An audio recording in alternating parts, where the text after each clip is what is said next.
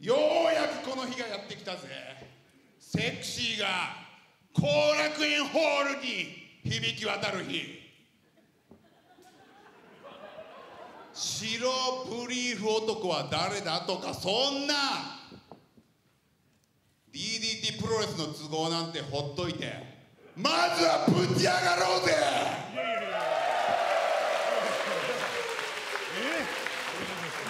ここは夢のセクシーランドだ。恥ずかしがるんじゃねえ。戸惑うんじゃねえ。押さえつけるんじゃねえ。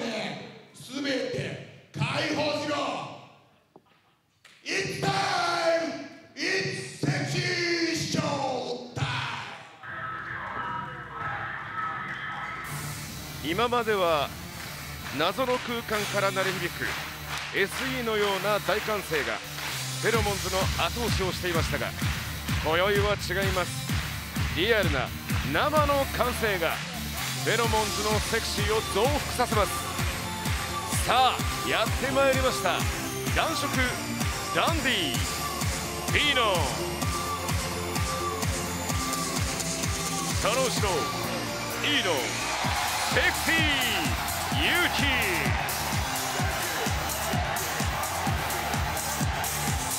後楽園ホール大セクシーコール誰もがこの瞬間を待っていました。この後楽園ホールに集まってくれた一人一人に隠されていたセクシーがそしてフェロモンが今全開放されようとしています。客席が一体となってますよね、これね。ために溜め込んだものが今ね、本当に全ストック開放中でございます。言ってみればこの生の歓声の中でこれから本当のフェロモンズの力というものが覚醒してしまうかもしれません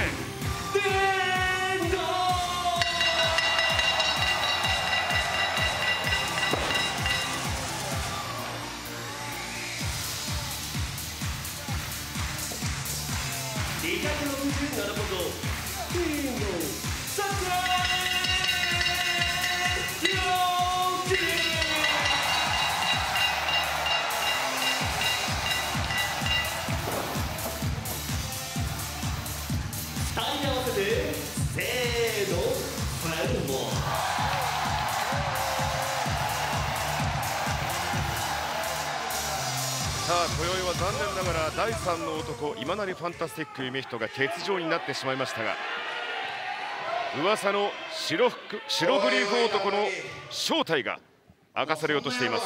どうでもいいだろなんだよ。そんなに知りてえのか。あ白ブリ元がどこだほら。ああどこだろうな。それは今から満を持して出てくるからだろ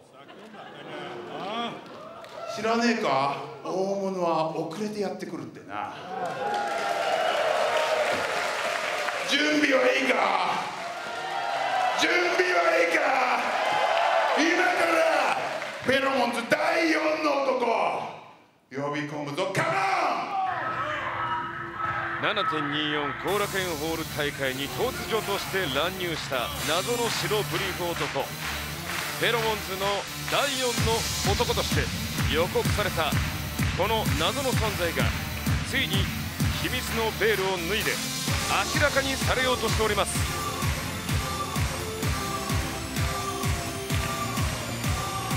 ああ入ってきた。気づいてない。早速大社長の大社長に一発食らわしました。そしてゴング始まってしまいました。まだ正体は分かりません。さあということで今回の後楽園ホール大会ゲストには柴田沙穂さん、お越しいただいておりますが食い入るように見守っていましたね。今 ねちょっと今痛そうだったなと思って 大丈夫かな絶対痛いんですよ、そうじゃないんですよ。痛いんですよ絶対、その覆面を取ろうとしていますこれ白ブリエフ男は覆面を脱がされるのを拒否していました、そうですね、ええということはやはり正体は明かされたくないということでしょうか、初めね、今日明かすというようなことを言ってましたが、えこんなに言うんだったらな知りたいんだろおい正体さらしてやれよおいセクシーえそっちの正体ではありませんその正体はもう見ています何度もいいよ脱いじゃえもう全部脱いじゃえやめろおおボタンがボタンがすごい体すごい筋肉ですね。すごい。しかも大バック。さあ脱いだぞ。おおやめろ。セクシーピラうわセクシーピーラー、セクシーピーラー。3つのローラーになりました。これお肌綺麗になりますね。でお分かりますよねピーラー。は いピーラーは分かりますよ。ねはい。げ原理は同じですこんなペーラーあっていいんでしょうか、はい。ツヤツヤになりますよ。これでフェロモンズは完全体になった。ということは最初から最大奥義ぶちかましてやろうぜ。オーケー。トリプルヒップス。オーケー カモン何ですかそれ嫌な予感しかしませんね。もう次何起こるか怖いですね。はい。さあトリトリプルだから三ついくわけですはいね。2つ目。そしてトリプルすごい絵ですねこれ。私はこんな光景を見たのは生まれて初めてですね。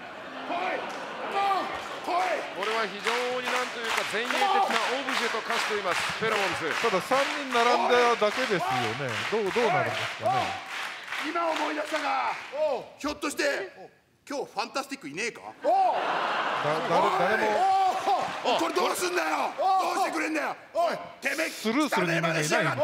ホイップする人間がいないトリプルヒップスを完成させたのはそのトリプルヒップスに押し込むな人がいなかったサポート役がいなかったんで本当にただのオブジェに化してました。ああそうか。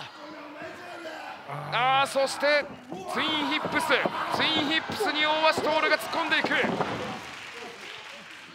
今日はもうしょうがないのでトリプルではなくツインでいきます白ブリーフ男は白ブリーフを取ってしまったので何度呼んでいいのかよく分かりません。そうですね。なんかすごい複雑な下着ですね。え謎のセクシー覆面。あ高地三四郎が持ち上げたがスタナー。ふらつく謎の回復面。ドロップキック。麗なドロップキックだ。打点も高いですよ。これセクシーなだけじゃなくてかなり実力者。あえ？あトリプルヒップスってそういうことだったのか。これはトリプルシックスの武田浩二です。誰が予想したかわかんねえな。